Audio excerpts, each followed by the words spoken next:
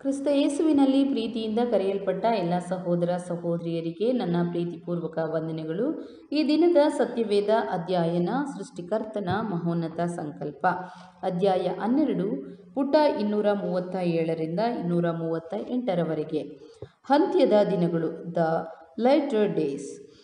ಈಗ ತಾನೇ ಮೇಲೆ ವಿವರಿಸಿರುವ ಎರಡು ವಾಗ್ದಾನಗಳಲ್ಲಿ ಪುನರುತ್ಥಾನವು ಅಂತ್ಯ ದಿನಗಳಲ್ಲಿ, ಇನ್ ದ ಲೆಟರ್ ಡೇಸ್. ಉಂಟಾಗುವುದು ಎಂಬುದಾಗಿ ನಮಗೆ ತಿಳಿಸಲ್ಪಟ್ಟಿದೆ. ಇಲ್ಲಿ ಅಂತ್ಯ ದಿನಗಳಲ್ಲಿ, ಅಂದರೆ ಮಾನವ ಜನಾಂಗವನ್ನು ಪುನಃ ಜೀವಕ್ಕೆ ತರುವ ಸೃಷ್ಟಿಕರ್ತನ ಮಹಾ ಸಂಕಲ್ಪವು ಸಂಪೂರ್ಣವಾಗಿ ನೆರವೇರಿಸಲ್ಪಡುವ ಸಮಯಕ್ಕೆ ಕಾ, ಅಥವಾ ಕಾಲಕ್ಕೆ ಅನ್ವಯವಾಗುತ್ತದೆ. ಹೊಸ ಒಡಂಬಡಿಕೆಯಲ್ಲಿ ಮರಿಯಳ ಸಹೋದರಿಯಾದ ಮಾತಳು ಪುನರುತ್ಥಾನ ಕಾಲವನ್ನು ಕುರಿತು ಹೇಳುವಾಗ ಅದೇ ಮಾತನ್ನು ಉಪಯೋಗಿಸಿರುವುದನ್ನು ಕಾಣಬಹುದು.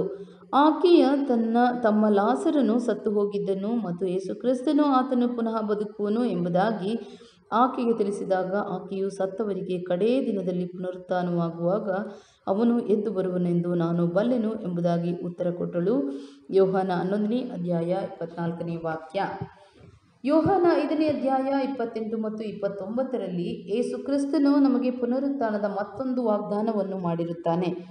ಅದಕ್ಕೆ ಆಶ್ಚರ್ಯಪಡಬೇಡಿರಿ. ಸಮಾಧಿಗಳಲ್ಲಿರುವವರೆಲ್ಲರೂ ಆತನ ಧ್ವನಿಯನ್ನು ಕೇಳಿ ಎದ್ದು ಹೊರಗೆ ಬರುವ ಕಾಲ ಬರುತ್ತದೆ.